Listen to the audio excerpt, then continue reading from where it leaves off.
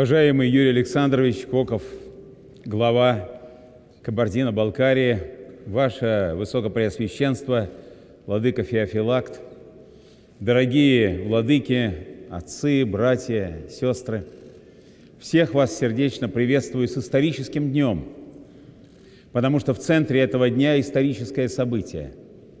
Мы осветили в Нальчике, в столице Кабардино-Балкарии, замечательный собор в честь Марии Магдалины, небесной покровительницы Марии Темрюковны, жены государя Ивана IV, именуемого Грозным, великого правителя Руси, во время царствования которого и произошло это соединение наших народов, наших судьб, наших людей – Действительно, без малого э, полтысячелетия мы вместе, и ведь это были не искусственно созданные условия совместного проживания.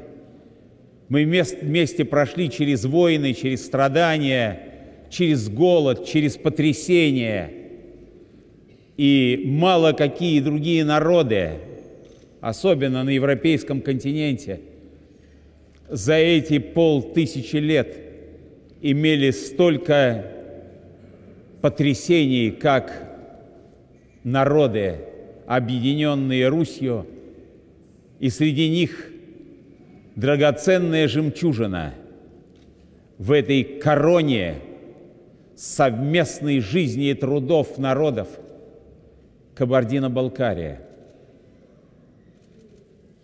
Я сегодня уже рассказывал Юрию Александровичу, как долгие десятилетия связан с Кабардино-Балкарией.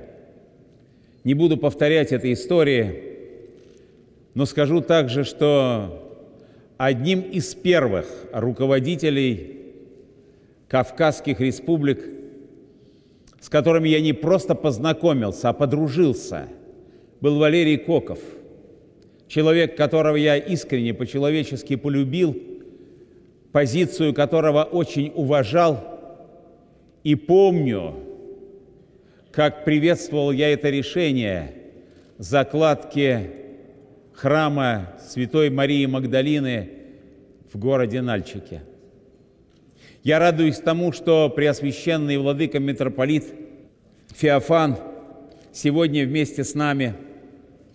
Он возглавляет Казанскую митрополию, но именно он вместе с господином Коковым в 2004 году заложил этот храм и сделал очень много для того, чтобы его построить.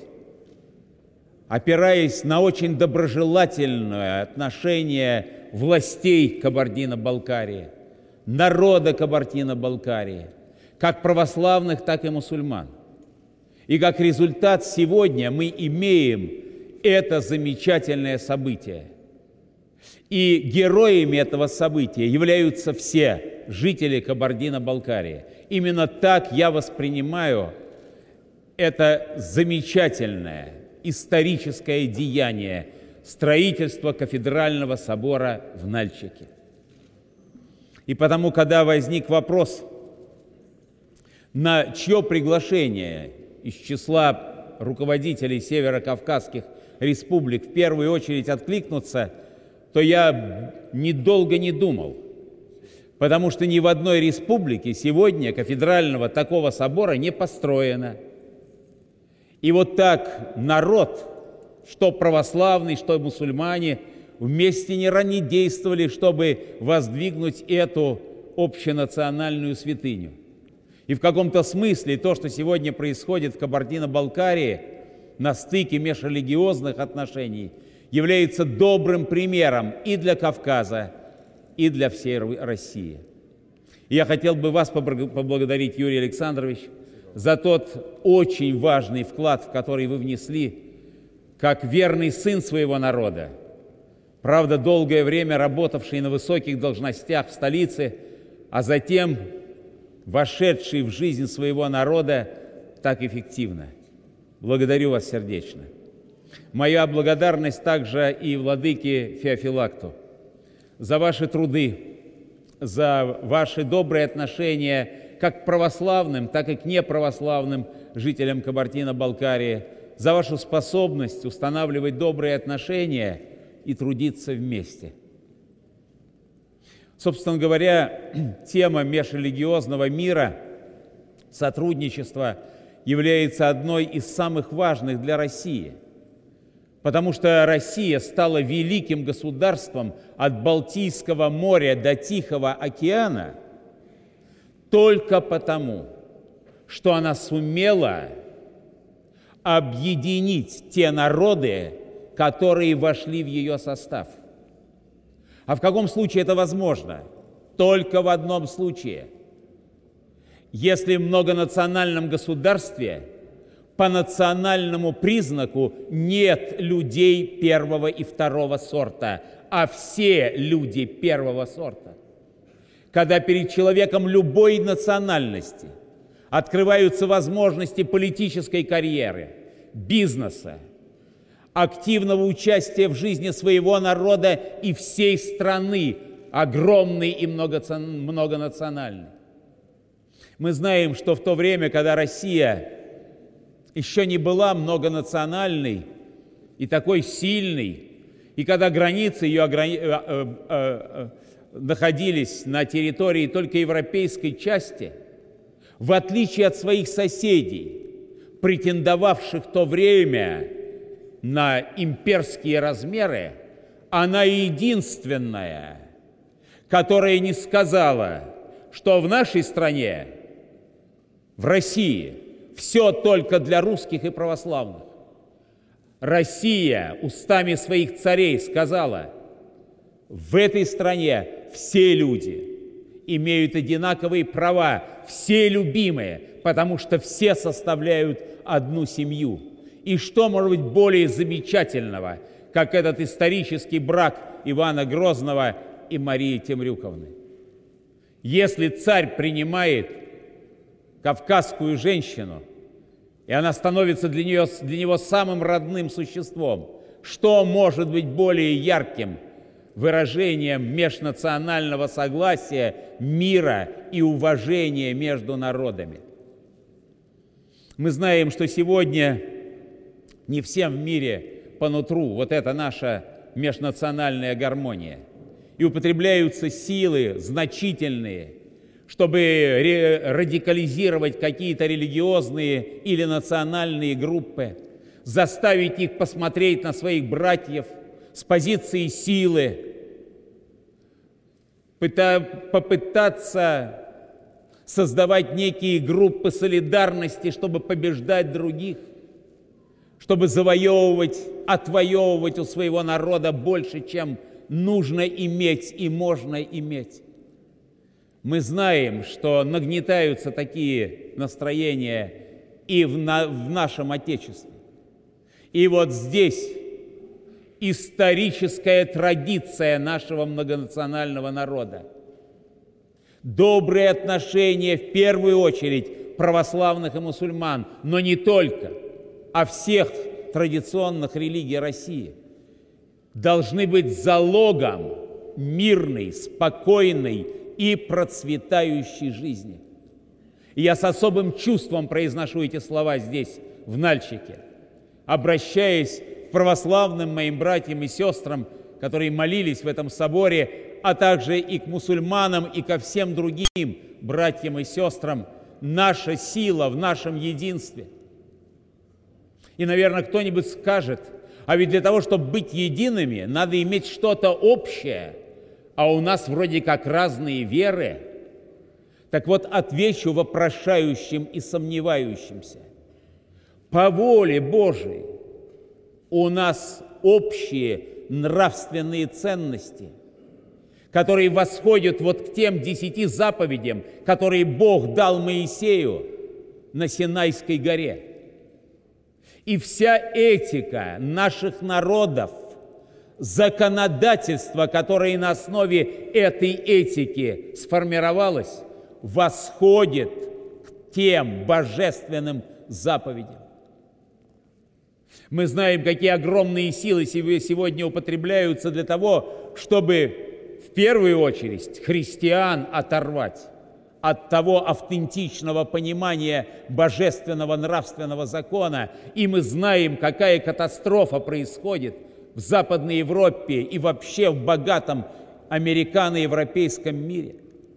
Когда многие христиане забывают о своих корнях, как бы переосмысляют основы нравственности, а на самом деле оправдывают грех не только в своей как бы общине, но и поддерживая, безусловно, греховные законы, которыми оправдывается грех. Ничего такого не происходит в нашей стране. Потому что и православные, и мусульмане не готовы жить по законам, которые расходятся с волей Божией и с божественным нравственным законом. Вот это наша основа. Вот поэтому у нас есть фундамент для построения совместной жизни. Сегодня мы празднуем особый день, мы вспоминаем святых равноапостольных жен мироносец. Мироносицы, потому что они принесли благоуханное мира к гробу Спасителя и первыми увидели, что отвален камень от гробовой пещеры, и нету умершего Иисуса во гробе. Во гробе. Они первые услышали весть ангела, что Он воскрес и предваряет их в Галилее. И вот эти женщины, которые не убоялись Пилата, не убоялись римских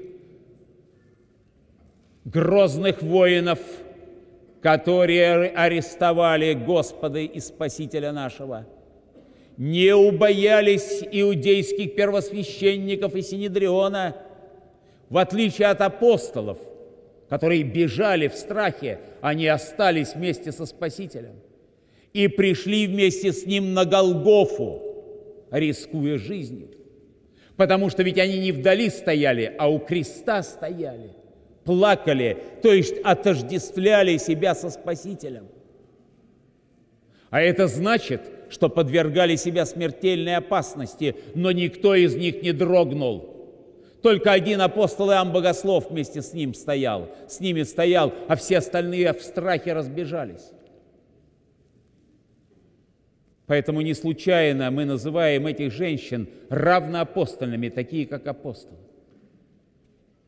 И вот этот подвиг равноапостольного служения наших женщин много раз повторялся в истории. Вот сегодня здесь стоит такая разная очень паства.